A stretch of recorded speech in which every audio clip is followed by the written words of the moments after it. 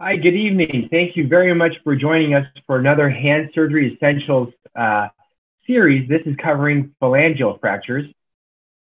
Thanks to everyone that's tuning in live or um, will be watching down the road. We have a great faculty with us tonight. We have Dr. Chia Wu from Baylor College of Medicine. Uh, we have Marco, Dr. Marco Rizzo, who I'm not sure if he's on here quite yet. Um, but he's one of my partners at the Mayo Clinic, and uh, Dr. Rebecca Neiduski from El Elon uh, University. And then I will um, also give uh, some um, perspective as well. My name is Peter Rhee. Here are the disclosures. And for just, I think everyone is familiar with Zoom etiquette by now, but just turn your microphones on mute. Um, and if you have any questions throughout the uh, didactic portion of the case discussion, please use the Q&A button uh, at the bottom of your screen, and we'll have our moderators and um, our faculty answering as, um, as we go. And I should mention there's also a lot of faculty on tonight too, so we have plenty of people to answer questions. Uh, here are the learning objectives. Uh, really, by the end of this session, we'd want you just to understand the major types of phalangeal fractures and know how to manage them, whether they're operatively or non-operatively, and then um, just be prepared and anticipate for any complications that may arise with treatment of these phalangeal fractures. So I'll pass it off to Dr. Wu at this point. to go on with the didactic session. Chia? Thanks, Peter. So uh, today I'm charged with the task of talking about phalangeal fractures, uh, which is a huge topic. So I'll try to provide a broad overview and um, talk about some general principle, treatment principles, and um, we'll try to cover this uh, from distal to middle to proximal, as well as the different flavors that's involved in the distal, middle, and uh, proximal fract phalanx fractures as well, and try to provide a comprehensive overview. Uh, I like to begin by uh, saying a quote that um, despite um, it's not advancing. Oh, there we go. Uh, by providing a quote that the spy was uttered about 50 years ago, um, it's as relevant as ever. So Dr. Swanson said in 1970 that the hand fracture can be complicated by deformity from no treatment, stiffness from overtreatment, and both deformity and stiffness from poor treatment. Uh, it's really quite a salient quote that despite being so long, I think this still rings uh, very much true today. In addition, it's not just hand fractures. I think this is especially true for phalangeal fractures.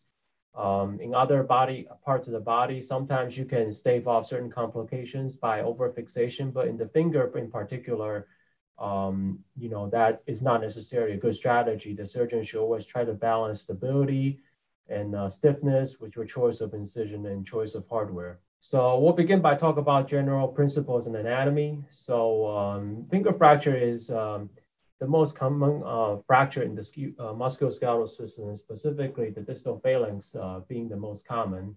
Uh, some is estimated to be over 600,000 per year, which is quite a lot. It's uh, commonly seen in you know all sorts of patients, namely from the athletic patient, uh, occupational injuries, um, or really in anybody.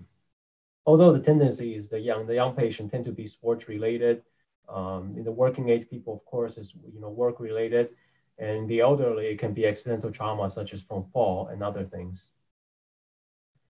To perform a comprehensive evaluation, of course, you want to uh, start by taking the history.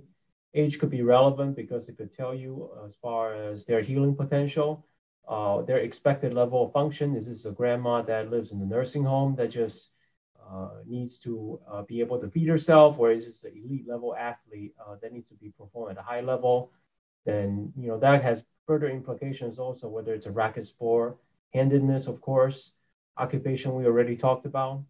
Timing is also important because um, you want to know if this is an, a truly an acute injury, is it an acute on chronic, or is it a chronic injury? Mechanism of injury could be crushing, could be sharp, could be blunt, history of previous injury could inform you perhaps there is a chronic component and there could be secondary deformities from a previous injury that's superimposed on top of the injury patient came to see you today for.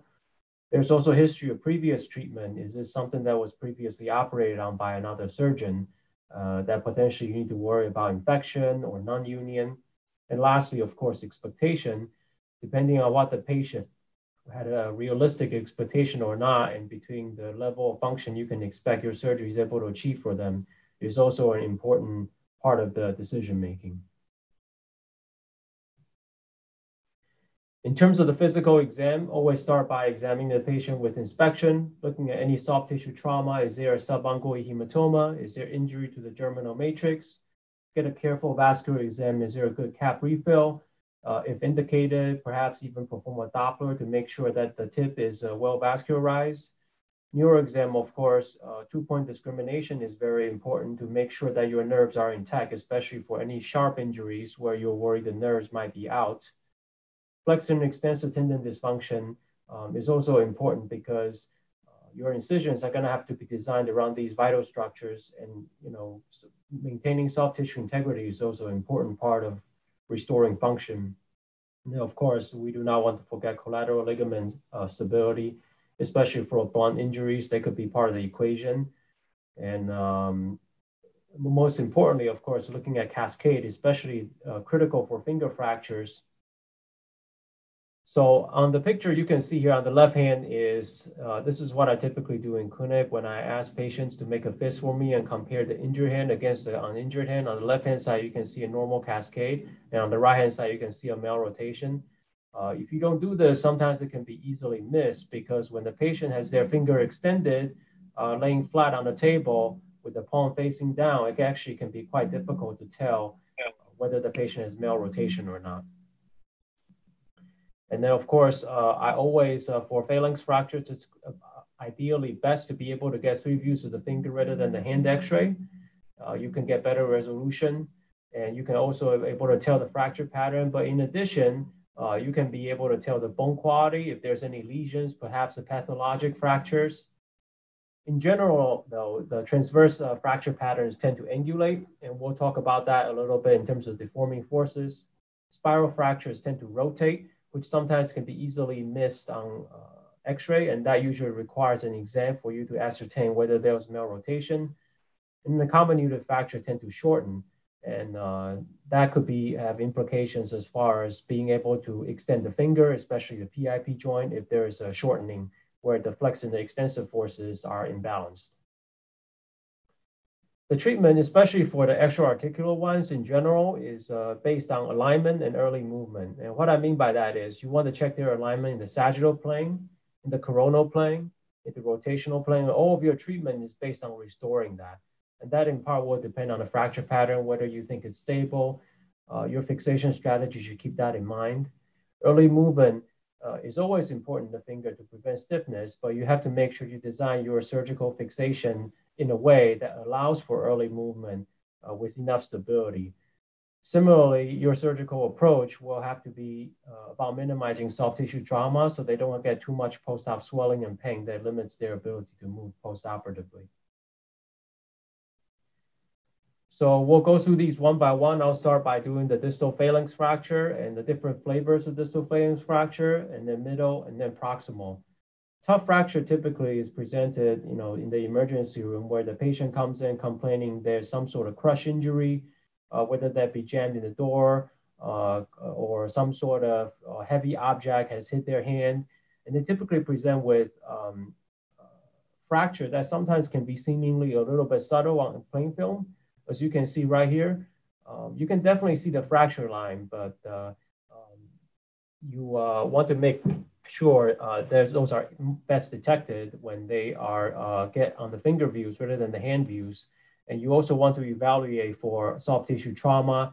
The, these type of injuries are commonly associated with nail bed injuries and subungual hematoma that frequently will require removal of the uh, nail and um, repair of the nail bed injury and of course, if there's any injury to the nail fold, you want to uh, place the nail back to stand the nail fold open so you don't get any nail deformities because this, if the nail fold uh, heals to the underlying uh, nail bed, sometimes uh, that could prevent the new nail from growing out and result in, uh, result in a um, split nail deformity, which is what you can see here on the right-hand side of this picture. On the left-hand side, you see um, uh, a uh, injury um, it's in the toe, but it's the same idea uh, where you have a nail bed injury that sometimes can be open. If there's any concern for contamination, you can consider placing uh, the patient in uh, on PO antibiotics, and if there's an instability, consider pinning. Now, moving on to uh, the mallet finger. The mallet finger typically, uh, most commonly, is a tendinous injury where a patient comes in uh, complaining, oftentimes a sports-related injury where their finger got hit by a ball and they're complaining of a lazy finger that's droopy. Uh, but don't be fooled by that. I uh, for these type of injuries, I will always make sure I get an X-ray because there could be a bony component to it. And uh, as you can see right here in this picture, uh, the left-hand most uh, picture that shows a quote-unquote droopy finger is a purely tendinous flavor of this fracture of this uh, injury. And then uh, in the second picture from the left side and the third, you can actually see uh, there's a fracture on the dorsal aspect. It's almost like an avulsion type fracture. And then the third picture over from the left-hand side, you can actually see the joint is incongruent. That's an indication for surgery. So if you actually draw a line uh, through the middle phalanx and through the distal phalanx, you can see these two red lines uh, are not lined up. And uh, that usually would require some sort of pinning uh, to restore the congruency of the joint, which is the most important for preventing function. But if uh, such a surgical indication is not open, these patients typically can be treated with the splint that you can see on the lower right-hand side uh, for eight weeks full time, and then gradually wean the splint after. And uh, these patients also can frequently have soft tissue irritation on the dorsum, so that's also something to monitor when you see these patients. And lastly, if, um, if these injuries goes untreated, uh, they can actually uh, develop uh, swan necking, uh, which is a secondary deformity uh, from this type of issue. And the swan neck, again, you can see here on the uh, rightmost picture, usually is a result of attenuation of the volar plate and the transverse retinacular ligament. And this will ultimately lead to the dorsal subluxation of the lateral bands and uh, which result in the picture that you see here, which is a PIP hyperextension and um, PIP flexion. If it's chronic enough, eventually uh, the triangular ligament will be contracted too.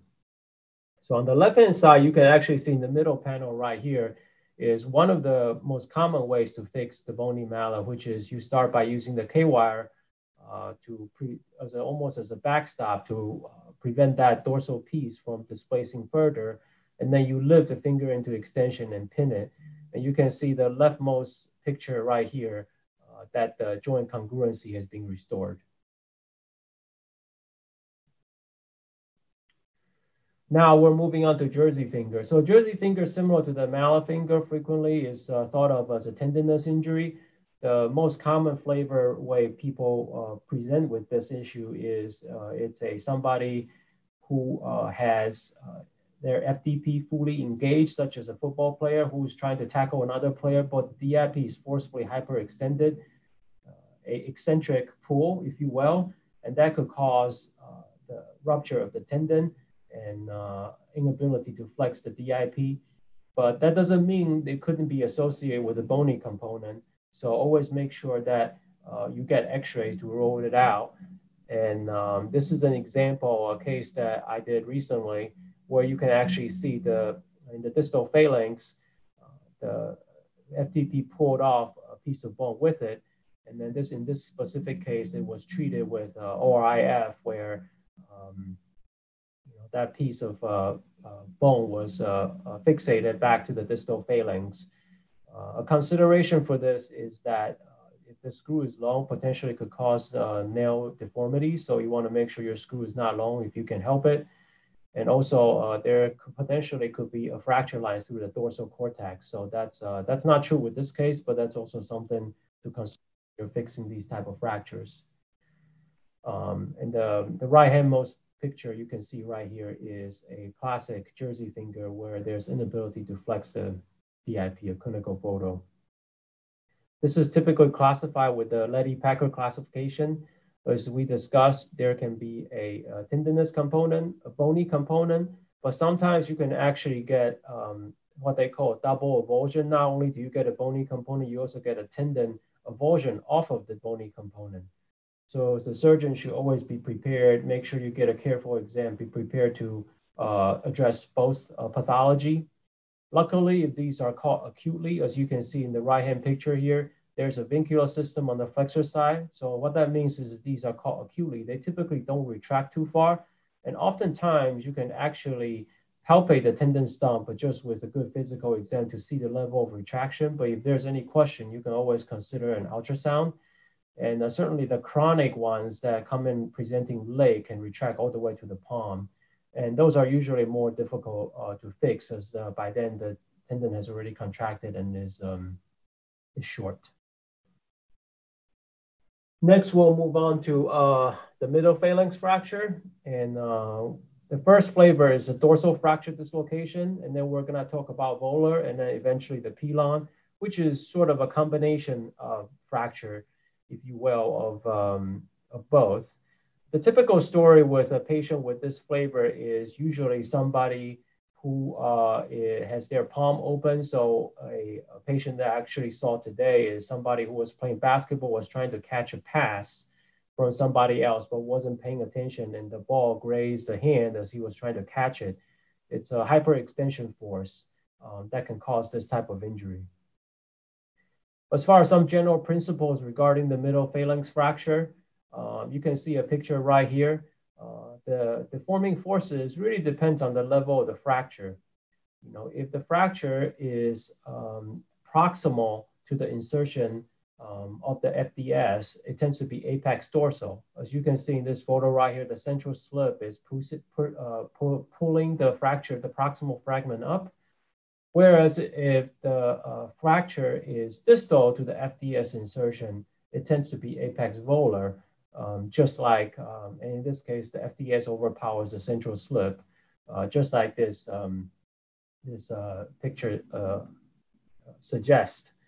In terms of the non-operative criteria in these type of fractures, I'm always worried about checking for normal cascade to make sure there's no malrotation. And then you also want to worry about um, especially the extra, uh, extra articular variant, there is uh, uh, not a significant amount of angulation or shortening because these can all lead to imbalance of the flexor and extensor forces, and that could cause contractures and secondary deformities. And then, of course, the surgical indication is any unstable fracture pattern or if there's any uh, failure of the above criteria. It's also important to know uh, these uh, recover the recovery of these type of fractures is also um, associated with, uh, as far as restoring their motion, is associated with age.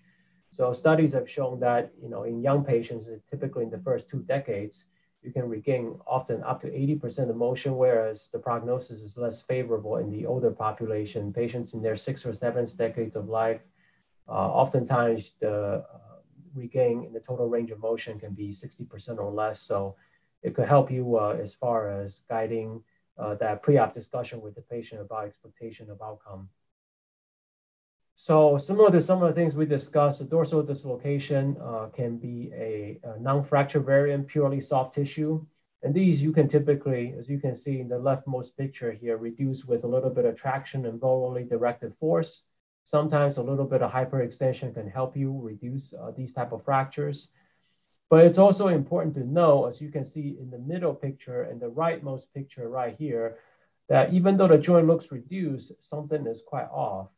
And uh, you can see, even though the joint is quote unquote reduced, it's um, uh, almost like the, um, uh, the, the, uh, the middle phalanx is almost a touch volarly subluxated. And you can see on the PA right here, there is almost an asymmetric gapping between the medial and lateral aspect of the the distance between the middle phalanx and the condyle. And sometimes these can present a subtle but definitely real or rotational deformities from the condyles uh, punching through the capsule. So these could be important as far as um, uh, understanding that these reductions are not uh, where they should be. Uh, can be quite subtle like this and uh, may require open um, open reduction in order to get it properly done. Another commonly uh, concerning aspect is there could also be interposition of the volar plate, and that uh, oftentimes you will not be able to achieve a good reduction with uh, closed methods. You would probably have to go to the OR um, in order to get that uh, done properly. As far as the fracture pattern, the way we typically think about this is in terms of restoring joint congruency and stability. And uh, the studies have shown the common number that's quoted is about 50% of the articular surface involvement or higher is unstable. And uh, you can see right here, there's a 15% that's stable, 30% is tenuous, and 50% is unstable. And I think it's important to talk about, even though we use this rule of thumb, at the end of the point, it's about whether the joint is congruent. I typically will take these patients for a in-office fluoroscopic exam to see if there's any hinging. And what do I mean by hinge? It's um, usually what we look for when we determine whether there's hinging uh, or not through motion is what we call the V sign, which is the middle picture right here. And you can see the V right here that's formed by the condyle of the proximal phalanx and, uh, and the middle phalanx.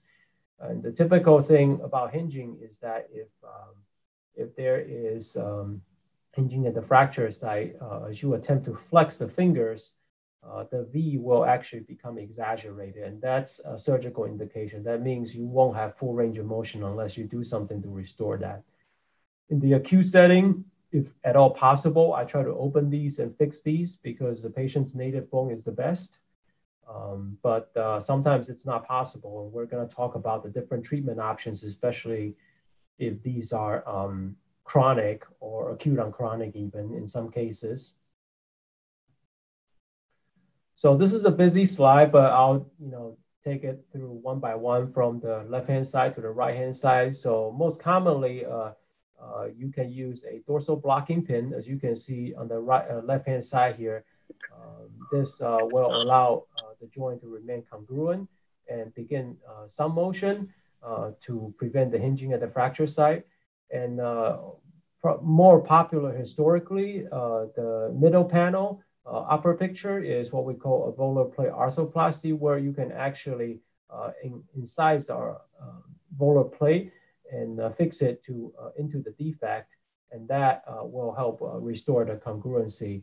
And then, of course, there's also an option in the middle panel, lower picture. You can see that's a dynamic external fixator uh, although in my brief experience, I think these are tend to be poorly tolerated by patients, especially for non-border digits, although it's certainly an option uh, for fixation. Uh, they uh, patients tend to complain they jam into the other fingers.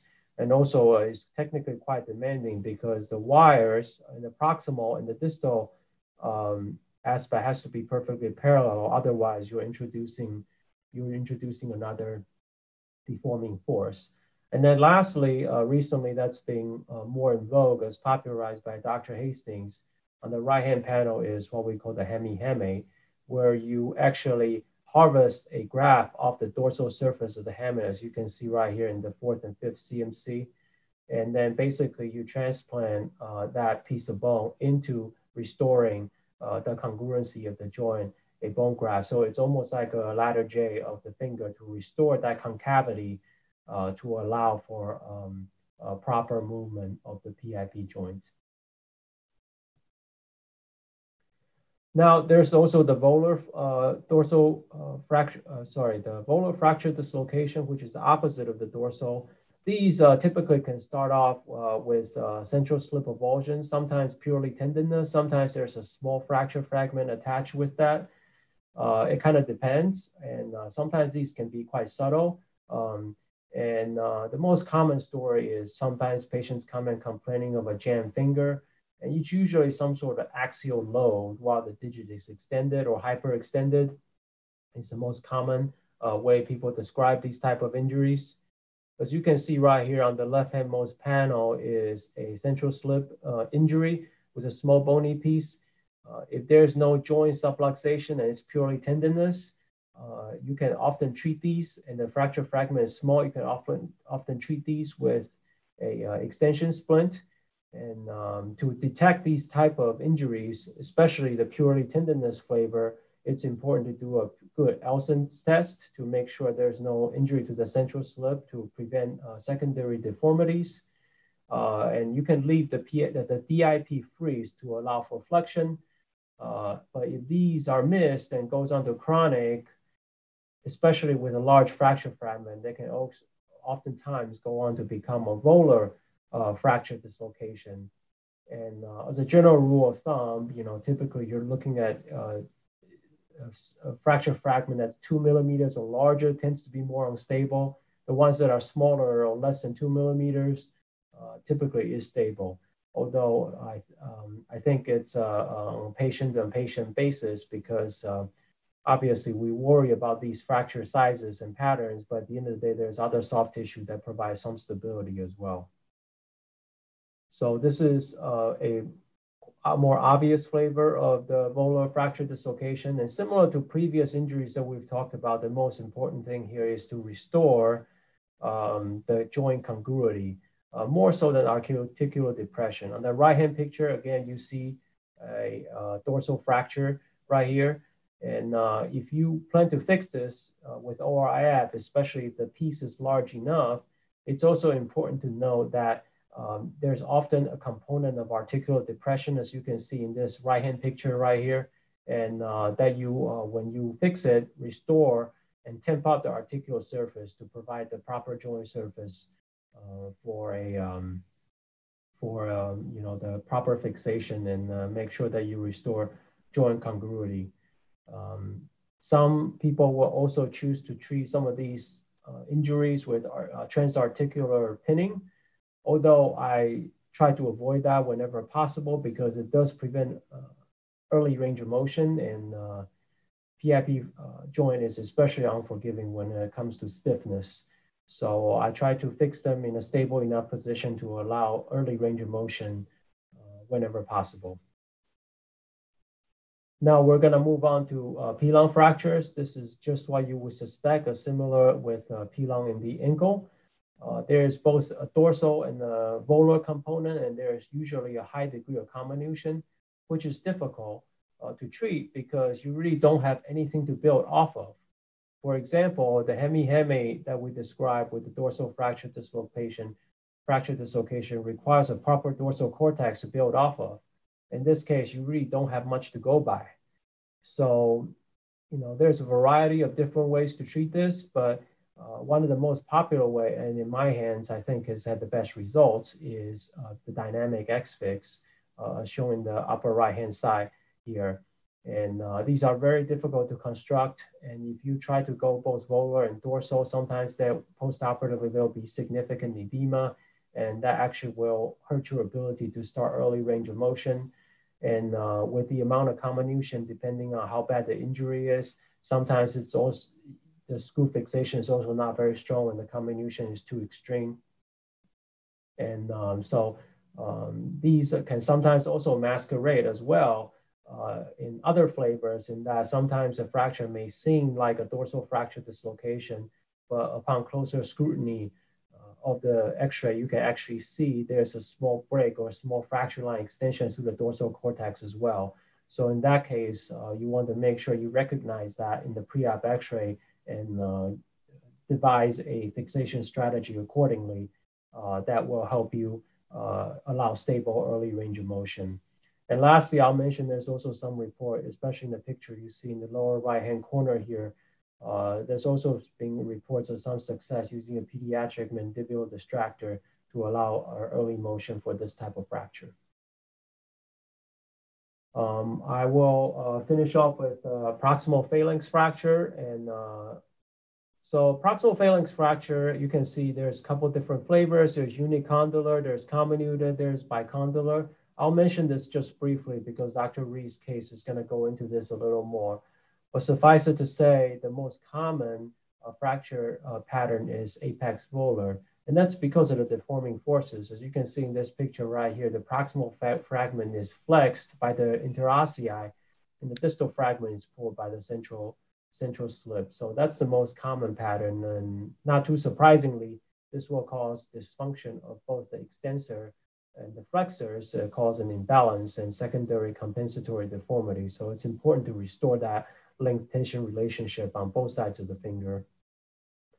And um, you know, it's typically quoted that volar angulation and shortening, um, you know, is uh, causing the is the cause of flexor extensor balance, and studies have shown that, um, especially if there's any level of comminution, uh, one millimeter shortening can lead to as much as 12 degrees of PIP lag, and that's going to cause significant amount of dysfunction.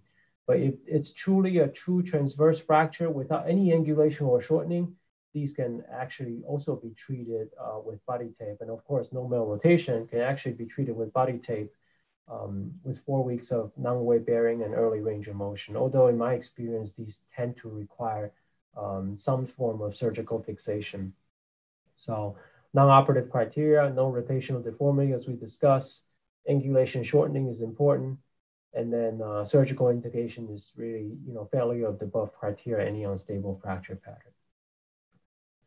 So as far as the take-home message, um, I really split it out to two slides. Um, for intra-articular fractures, uh, especially in the hand, unlike other joints in the body, joint congruence is probably the most important because it's going to allow uh, for um, early range of motion.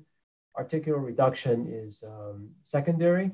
And for the extra-articular fraction, it's especially important to scrutinize the exam. Uh, sometimes it will already be clearly obvious on x-ray that there's shortening, there's instability, there's angulation, but other times it may not. So you want to make sure you do a good exam to um, uh, assess for malrotation, to assess for shortening, range of motion, and then uh, uh, fixation strategy should always be designed to allow for early motion whenever possible uh, especially around the PIP joint, that's the least forgiving as far as stiffness. And then be mindful of the soft tissue envelope because your surgical approaches and your hardware is going to have to be designed around um, these important structures. And ultimately, these uh, soft tissues and their recovery is uh, also going to play a critical role in restoring the function uh, of our patients uh, after the surgery.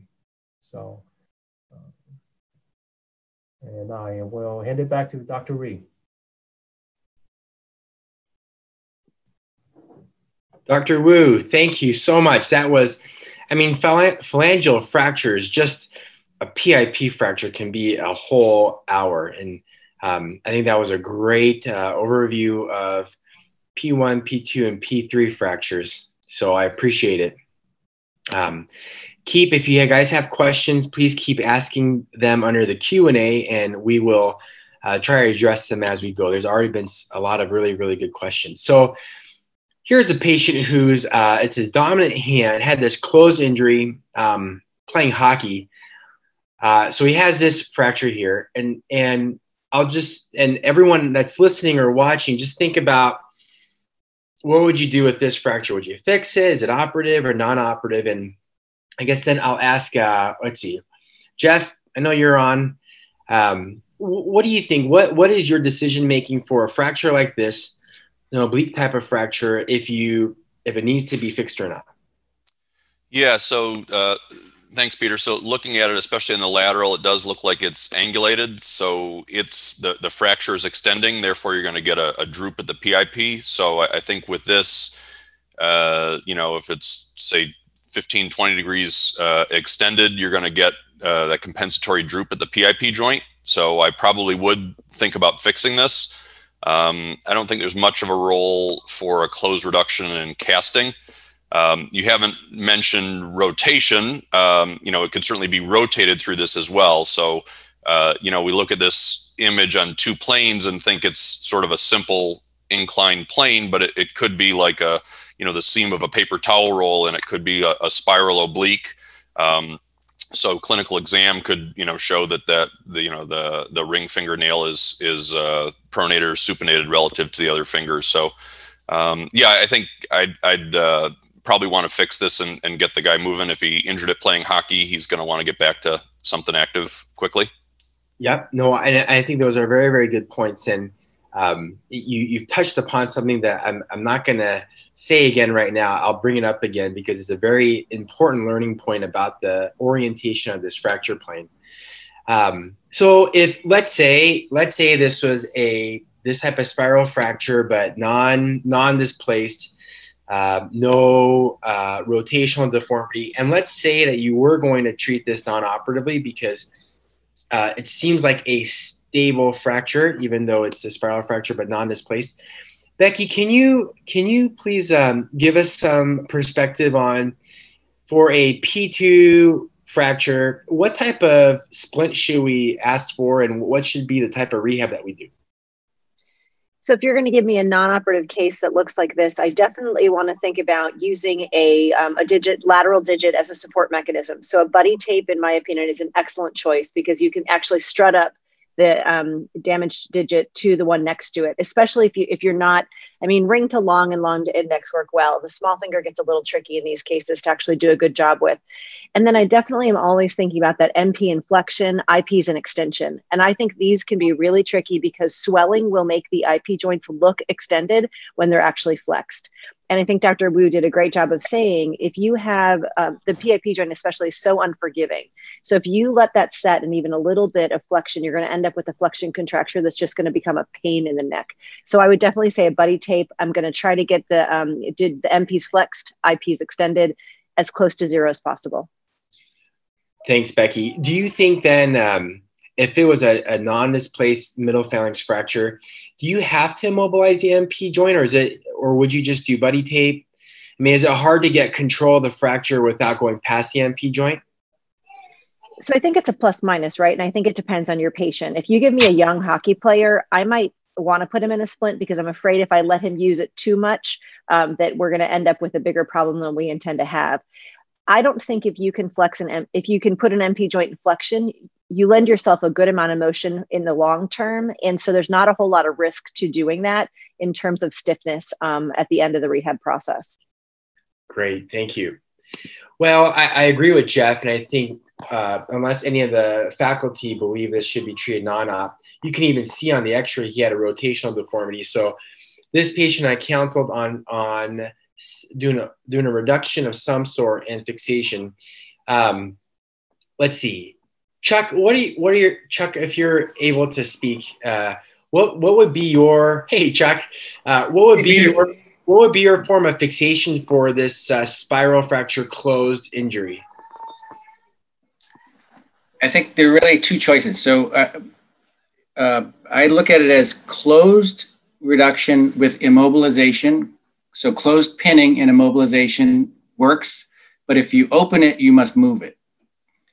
So it's not an articular fracture. I think, uh, as Becky said, if you splint it properly uh, with a closed pinning, uh, you can immobilize that for a few weeks and the, the patients won't lose motion as long as their PIP joint is uh, in, immobilized in full extension. So for me, closed reduction and percutaneous pinning or open, and it could be limited open reduction with screw fixation and early motion. Great. No, I, I think uh, I share the same thought with you. I try to pin these if, if possible, just to preserve the biology and exactly what you said to limit the um, almost inevitable tendon adhesions with any type of open procedure. Now, if if you are going to, oh yeah, sorry. I just make a, a, a, a couple of points? Just um, it's an analogous to a distal tibia spiral fracture. Uh, these fractures may be more complex than they look, so they they can end up uh, spiraling around like the toilet paper roll uh, that Jeff alluded to and end up in the joint. Uh, or you can have a butterfly fragment that uh, is not so clear to see. So really look closely at the uh, at the rec- at the X-rays before you decide how to undertake this, and look at the fracture plane in the operating room. You can look and see exactly where that fracture plane is to know where the K wires are. Um, and just a couple of points for me, I like to put a percutaneous clamp at the level of the condyles of the head of the proximal phalanx uh, to get some control, more direct control of that segment. You can apply traction and rotate it, and then percutaneously place a clamp across the fracture itself. So that combination of moves helps a lot. Um, and then I, I tell the uh, fellows, in residence, always put in one more K wire than you think because at least one of them is not going to be in the right spot. Yep, and I think that's a very salient point. Um, words of wisdom always from Chuck. The uh, if you are going to fix this, then let's say either percutaneous pinning or open. Um, what type of anesthesia would you do? There was actually a question about that. Um, how about uh, Marco? If if you're able to, um, what, what would be your preference of anesthesia type?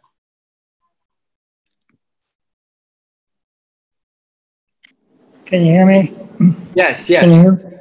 Oh yeah. You know, I think um, I would do a digital block. You know, I, I don't think I would have to do a uh, general or anything too aggressive uh, from an anesthesia perspective. I mean, um, to me that would work pretty well. I I hadn't seen the fracture though, uh, Peter. What does it look like? Uh, here, let me see. let me see if I can go back with that. Uh, but as, as I'm listening, as I'm listening to Chuck, I thought there was a proximal phalanx fracture that was uh, spiral. And nice thing about doing it under local is that you can reduce it and then even have the patient move um, and see that the cascade and the rotation is appropriate. Yeah, and I'm actually just curious, Marco. I, I think uh, I agree with you that I would probably do this under a digital block. Um, uh, I'm just curious with the faculty. Would you? Would any of you guys do these in your in your clinic uh, under wide awake or or in like your minor procedure room wide awake? Do any of you guys have experience with that? Kind of tough to do an open ended question with with with uh, all the faculty. I apologize, Jeff.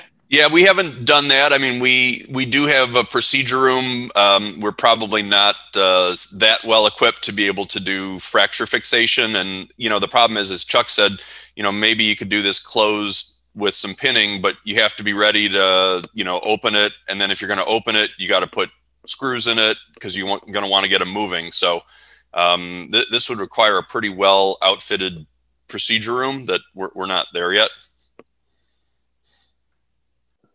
I was going to say the same. Always have a plan B, and if plan B is more extensive, then maybe that procedure room's not the ideal place for it. Yeah, exactly. Yeah, I, I think if you're going and saying I'm just going to pin it, and then um, the uh, things go haywire uh, or go south quick, yeah, you want to be prepared. And certainly, if you're doing it in your clinic, um, you just want to be prepared for that. I typically like to do these. Um, not that you have to do them with epi for uh, close reduction, but um, I put this in here just because I like to do my blocks uh, this way with my um, with uh, if I am going to do wide awake and I have to do some sort of approach, whether it's volar or, or dorsal. Certainly for your PIP fracture dislocation, if you're going to shotgun them, I like to do it this way. But there, like Dr. Rizzo said, there is a benefit to having them, you know, pseudo awake or fully awake so you can assess their fracture stability and that gives you a little confidence to know that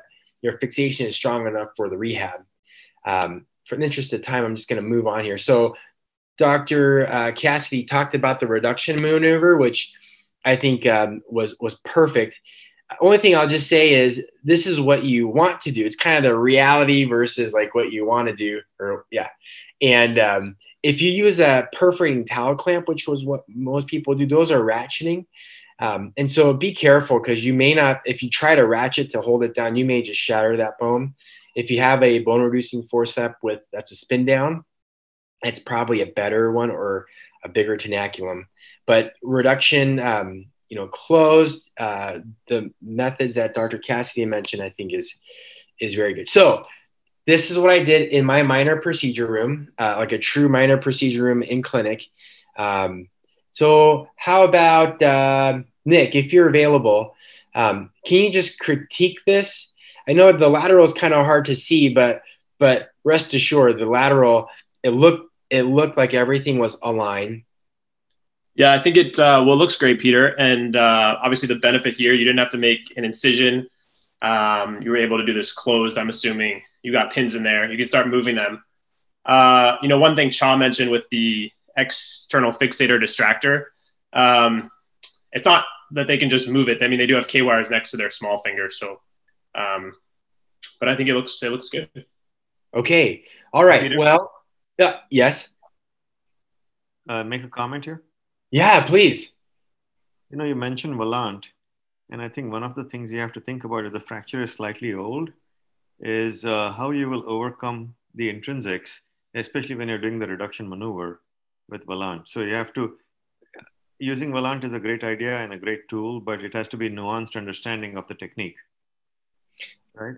Absolutely. And, and I'm glad you mentioned that. The other thing is when you do this perk pinning, um, you know, you're relying on your topographic landmark and palpation. And if you do a digital block, let's say, or a tendon sheath block, it can really cause the finger to swell and, and you may lose a little bit of uh, perception of that. Jeff, give me some give me some brutal critique on this. Uh, no, no, no. It, it, looks good, Peter. I, I was just going to say one point. Um, if you're doing something like this, I'll actually um, drill this. Uh, for example, so you got two K wires in it. You're going across. Uh, drill them live and, and actually cor- correlate what you see on fluoro, meaning you're going through one cortex, going through another cortex, because it's very easy. You can imagine that proximal pin may or may not even be grabbing that distal segment. In, in other words, I can't see on your lateral.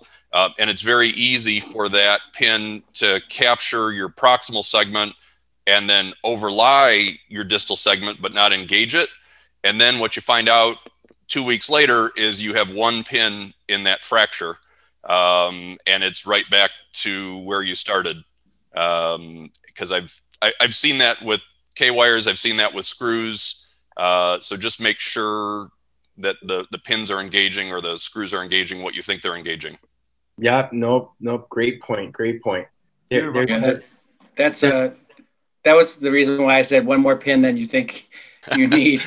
yeah. Um, yeah. Can I can I make just one other point, and that is that WALANT, um, obviously we're like rats when it comes to uh, recent past past experience. But I was uh, I, I, took care of a patient who's who had a trigger finger release uh, under WALANT and lost the tips of two fingers uh, ne- uh, from necrosis.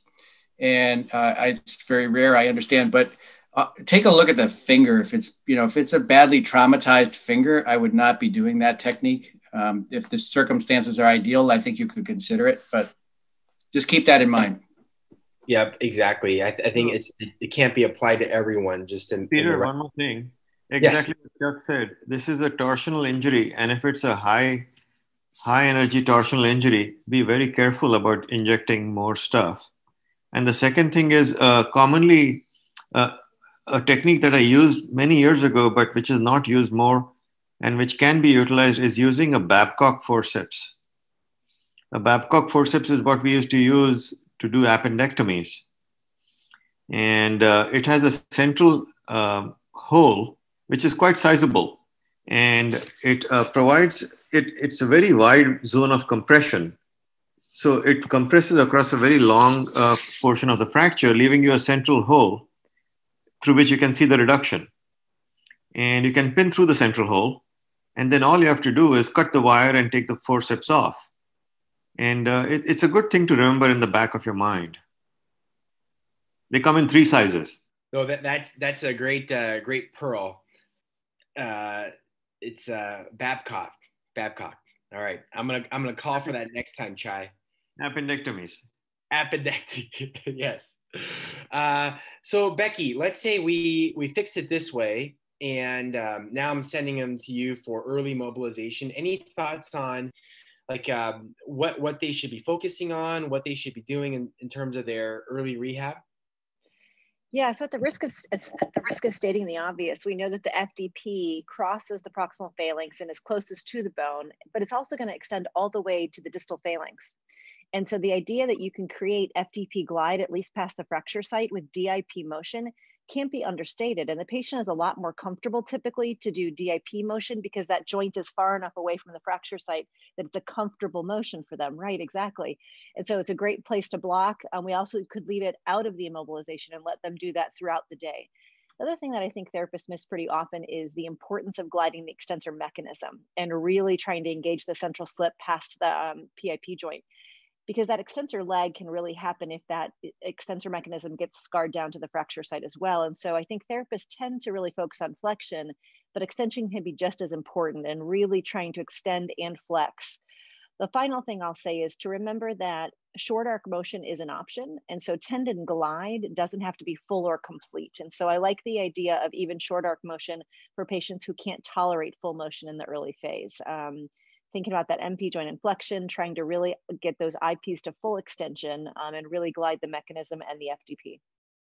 Great, that's that's an important point because I feel like for a lot of surgeons, we think that we need to do this for full tendon excursion, but as we know from our flexor tendon uh, literature, that like you said, it, it just needs um, a little bit of excursion to prevent that adhesion. Uh, Becky, I was just Peter. Yeah, I, am sorry. No, go ahead. Ask again. um, oh, go ahead, Marco. Sorry, man. Uh, talk me through your decision. Um, do, do you like? You clearly decided not to bury the pins in this patient. Are there patients that you bury pins on, or or do you just routinely leave them out the skin? Oh, that's a good topic. Uh, I I leave them out, and my decision point is if it's going to be six weeks or less, I leave them out just so I don't have to take them back to the OR, unless it's a patient that I'm really concerned they're going to have pin tract issues. But for most, like I think a phalangeal fracture that I leave closed, I think that will probably clinically heal by about four four to six weeks, and so I'll leave them out. How about how about you, Marco? Do you leave? Would you leave these transverse pins buried or? Oh yeah, I don't. I don't feel like you need to go to the OR to take them out. You can do a digital block, and and it it, it depends. It depends on how it affects their re- rehab in some ways. I find that they rehab a little bit more confidently when they don't have pins that they're looking at, and to me, it also you know, allows me the opportunity to leave the pins in maybe a little longer than I otherwise would. They're less likely to get soupy or red. Uh, again, it's annoying to the patient because they can feel them under the skin, but you know, I can take them on the clinic with just a little local and and a 15 blade. Yeah, yeah, I, 11, 11 blade. I mean, sorry. Yeah, I think I think it's definitely dealer's choice on what you want to do. There's definitely pros and cons with with either. Um, sorry to uh, interrupt. No, no, not at all. Um, Becky, do you have any experience with the pain-based uh, protocol that's popularized by uh, uh, the St. John's Hospital in um, New Brunswick, by chance? Um, now, you know, Do- Dr. Lalonde is a big advocate of um, wide awake hand surgery, and um, his institution they they they uh, utilize essentially a pain-based protocol where patient can't take narcotics and you do essentially what you said becky it's just short arc motion and a orthosis protect it. And the the benefit they say is um, you know you get patients moving early but to facilitate that you do the the surgery with them somewhat awake so you can just test their stability in the or have you do you have any experience with that becky Unfortunately, I don't, and I highly respect, you know, both Dr. Lalonde and Amanda Higgins, his therapist, and you know, she's typically in the OR with him, so there's a great oh. opportunity oh. to create rapport with the, with the uh, patients in the OR because she's the one guiding and talking to them a lot of the time while Dr. Lalonde is doing the surgery. So it's an amazing team opportunity, right, for the therapist to be working with the patient right there.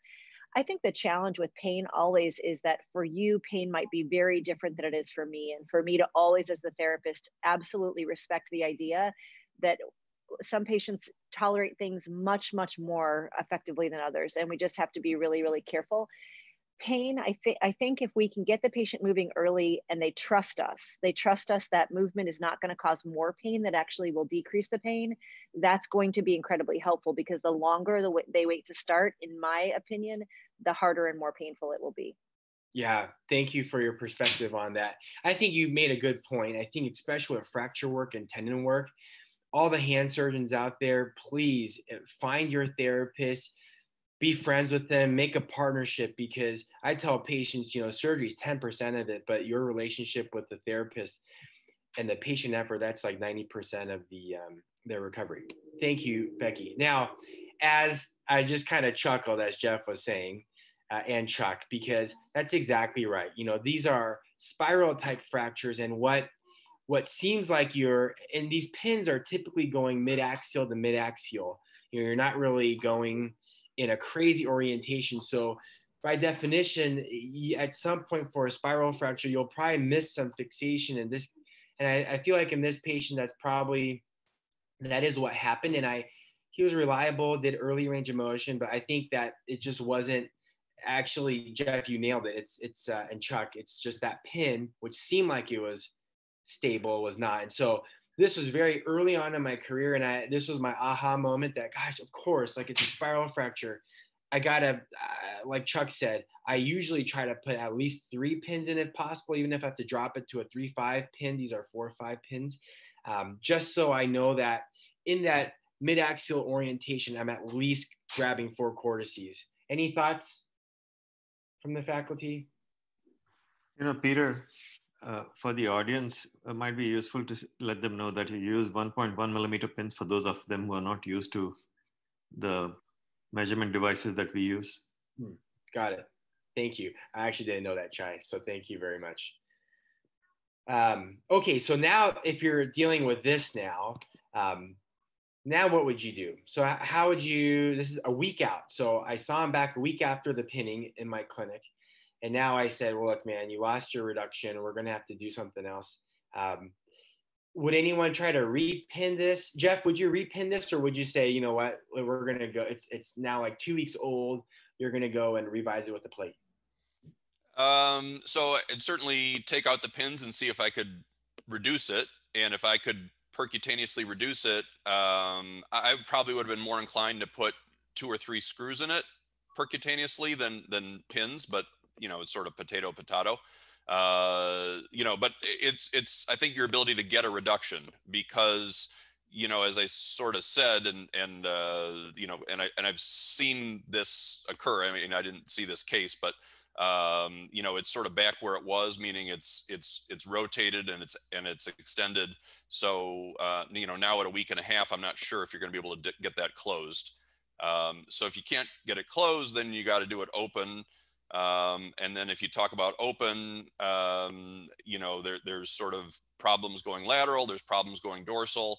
It's which of those problems do you want to deal with uh, and where you think you're going to get your fixation now that you mentioned that, Jeff, if you did, if you were going to plate it and get open reduction, what do you choose then? Do you do a, a dorsal approach, lateral mid-axial, like a yeah. lateral approach?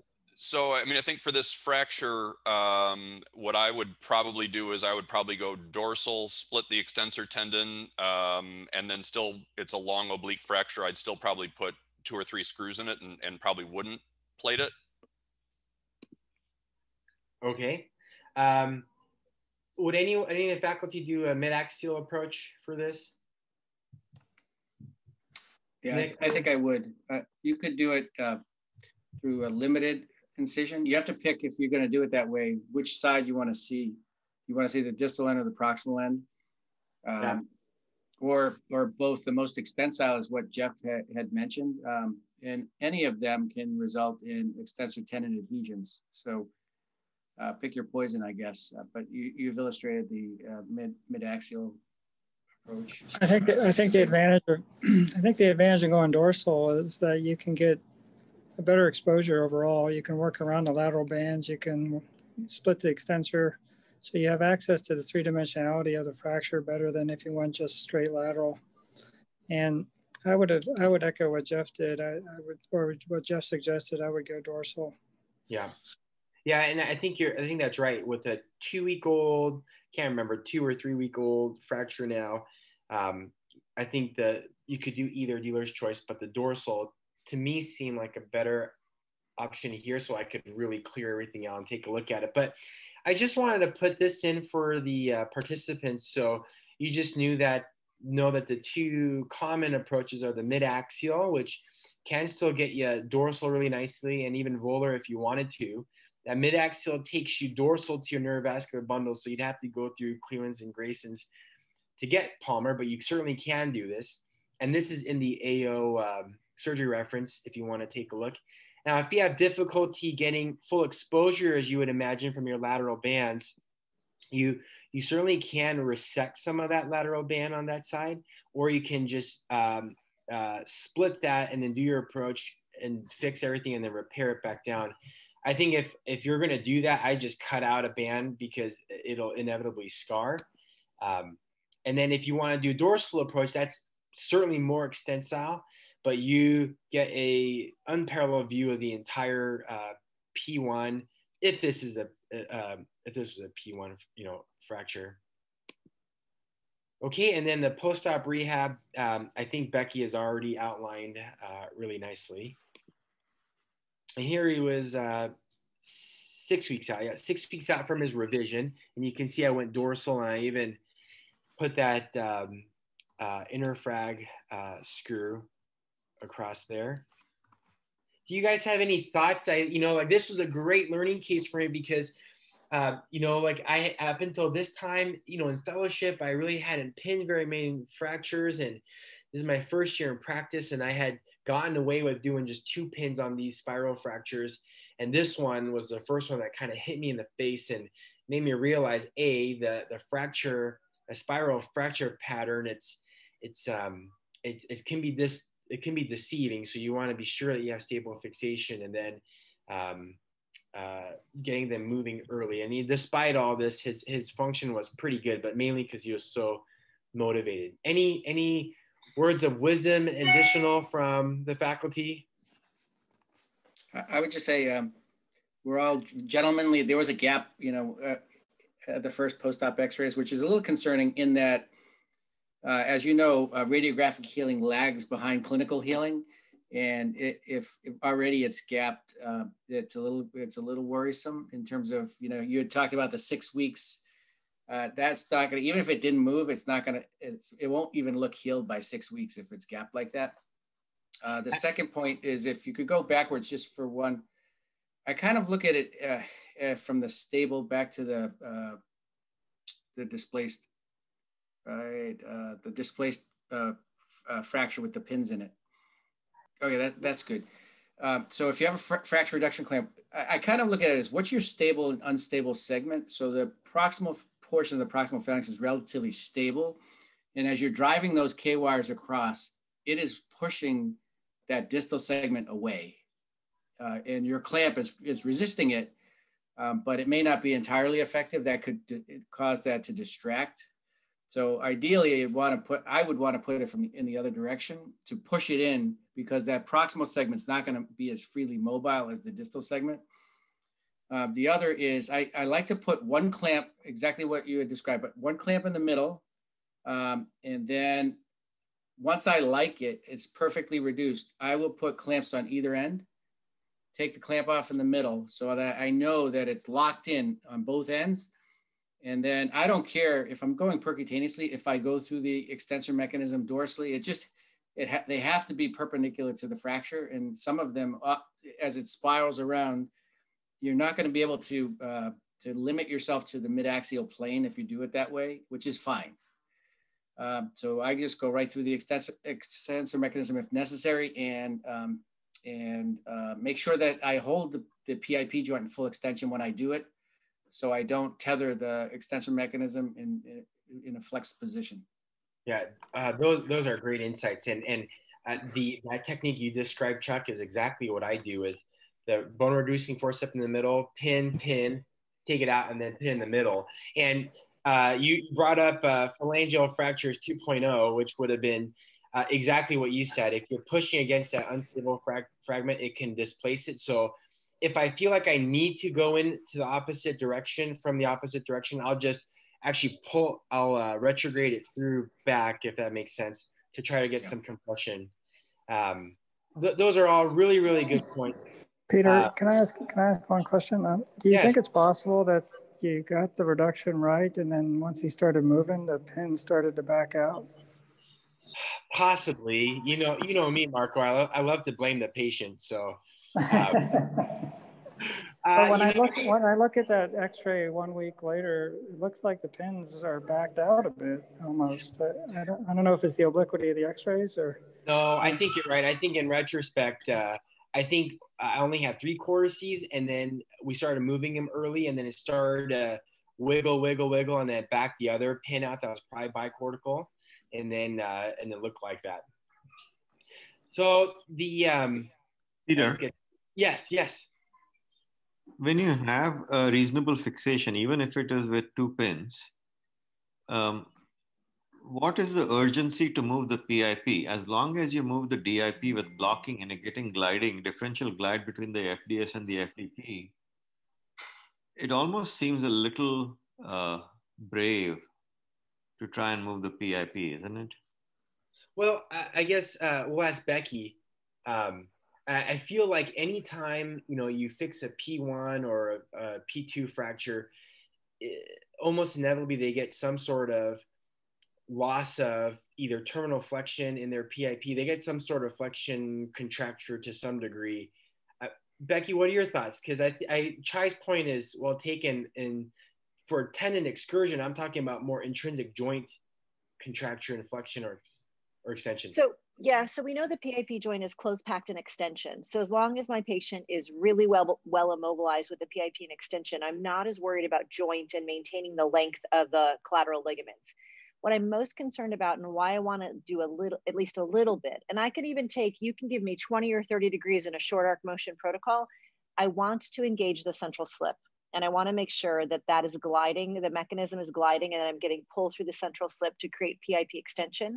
I think that's what you lose if you don't do at least a little bit of range of motion. And I don't need full range, but I think this point can't, we have to say this out loud. If we're worried about motion and we immobilize people, it's harder to get it back later. And those flexion contractures and some of the other kind of sequelae that come from not moving are worse than moving in the first place. So I wouldn't want the participants to think that motion caused the pins to back out. Maybe it's just that it was too much motion or too aggressive of motion. So it's not a yes no. Um, it's kind of a how do we modulate or how do we find the good middle ground?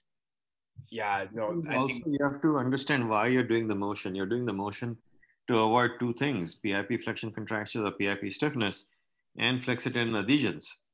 And it has to be a judicious line that you walk where you're deciding. So, you know, differential glide phenomenon is good for me, but uh, your point is well taken about PIP flexion contractures. The way I see it is if I, if I had a patient with a PIP flexion contracture, I can put up with it. But if I have a patient with a failed fixation, that's a bigger problem. You know? Yeah, no, absolutely. And, and I feel like uh, kind of the recap of that case is I don't think that I had stable fixation, which was the main problem. Like like Becky said, I don't want anyone to think that early range of motion is is a bad thing in the right patient that's that's done with you know decent supervision and um, just just vigilant about any complication. I think that's I think that's um, quite helpful.